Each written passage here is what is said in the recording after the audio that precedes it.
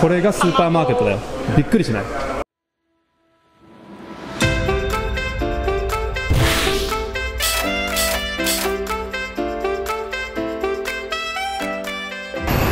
はい皆さんこんにちはレーナです。タカですはい、キブログです。はいということでね今日は？キューバのレビューション。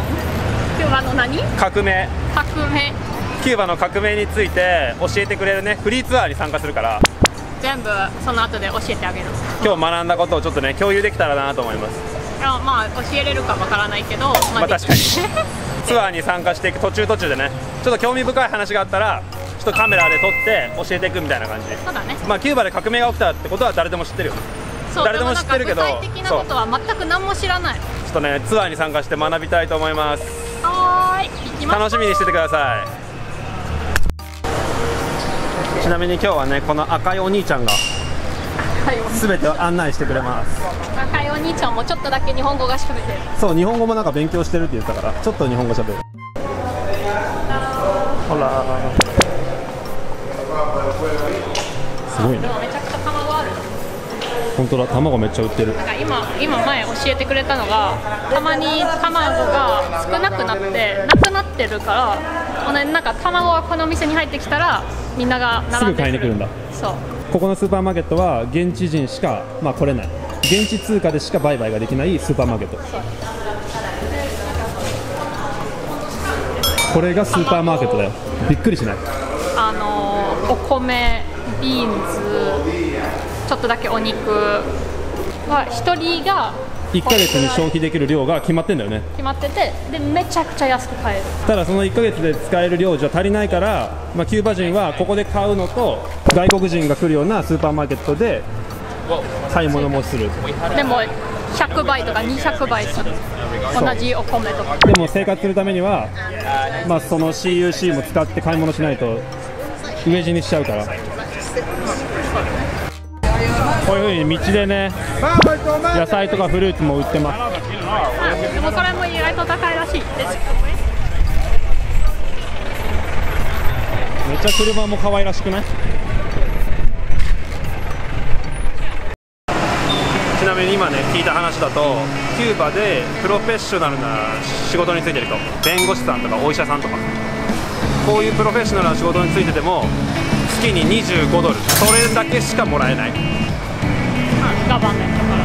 でもそれが足りない。全然足りない。だから誰でもプラスでお金も儲けるようなサイドビジネスをやってる。キューバで2004年から、まあ、法律がちょっと変わってちっちゃいビジネスだったらプライベートで持っていいっていう風になったから、まあ、数多くの人は自分のプロフェッショナルの仕事プラスちっちゃいビジネスを持ってますとでそれは例えばレストランだったりあとはリセールのストアだったり、まあ、観光業に手を出して外国人からチップをもらうビジネスだったりそのスモールビジネスも自分の家でしかやっちゃダメっていう法律がある。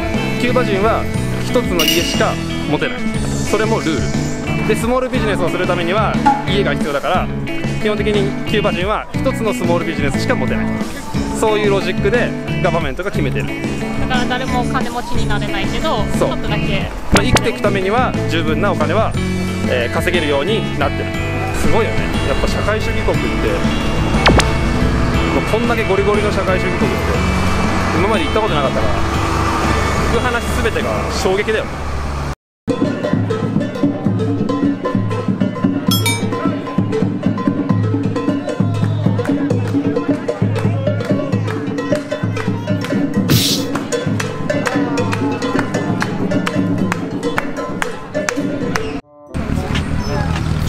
くりとねキューバの歴史本当にざっくりと。ざっくりとできる。ざっくりと話すと1500年から1900年まで。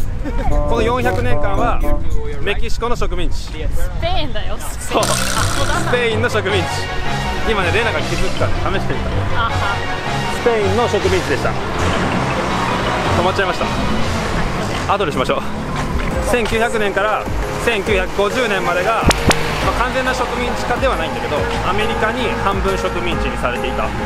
みたいな感じあのキューバのプレジデントがいたけどそのプレジデントがまあアメリカがやってほしいことをやったみたいな。うん。だから完全にアメリカのガバメントが入り込んできて全てを支配するわけではないんだけど、まあ、半分アメリカの植民地ハーフコロナイズされてた感じ、まあ、ざっくり言うと1950年以降は独立が起きて今のキューバ国として成立しました。で細かい話は？あとね後でらし。いです今ねここ歩いてるのがキューバのハバナの中でも最も貧しい通りの一つ。で HIV 患者もここに住んでる割合がかなり高い。危ないです。一個素晴らしいことを今教えてもらったんだけどキューバ人は義務教育が必須となってます。必須だけじゃなくて無料。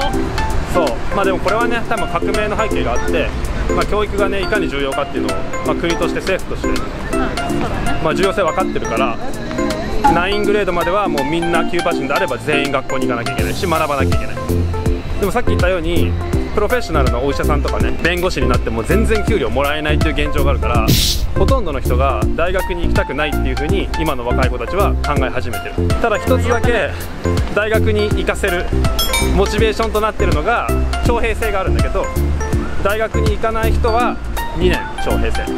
大学に行く人は1年、まあ、これがあって若い子たちは大学に行くモチベーションに一つはなってるっていう話を今言ってました。そうだね。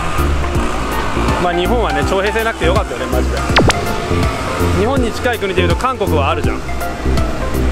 日本の政府ありがとう。うんドイツはわかんない5年くらいまであったあそうなんだ。私のお兄ちゃんが言ったよあ男の人だったらえそれ1年？ちなみに学校が無料というのは、まあ、ドイツにも学校が無料と思ったけどあの違いがペンとか学本とかノートとか全部無料らしい。それがすごい。そうだね。でこういう風に自転車タクシーもあります。まあ普通の車のタクシーもあるけどね。トゥクトゥクみたいなやつもあるし。もっとローカルの人が使ってるタクシー。だからインドとかバングラデシュでいうリキシャみたいなやつかな。ちなみにこの目の前に見えてるのが国会議事堂アメリカのね半分コロナにされた時期に作ったからアメリカの国会議事堂を模して作ってる。で今は国会議事堂の機能はなくてなんかミュージアムみたいになってんだよとりあえず今はなんかねコンストラクション中だから。20年間コンストラクション。すごくね。中らしい20年以上も。ずーっと。はいちょうど今ねツアーが終わりました。3時間ぐらい2時間半ぐらいか。ちょっともうねお腹ペコペコで死にそうだから。何も食べてない。バナナやばい。朝バナナちょっと食べただけだから。で今もう5時だから。